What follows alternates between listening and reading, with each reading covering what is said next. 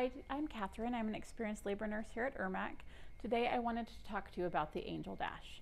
Um, we are excited at EIRMC to participate this year in the Angel Dash. This is a fun run and walk that benefits an organization called Rachel's Gift. We are working with Rachel's Gift to provide ongoing support and education for families that have experienced a, um, an infant loss. Um, this subject is dear to us personally um, because when we have women that have experienced a loss, um, we grieve right along with them and um, Rachel's Gift provides valuable resources and support for these women. And so we are proud to support them in this dash.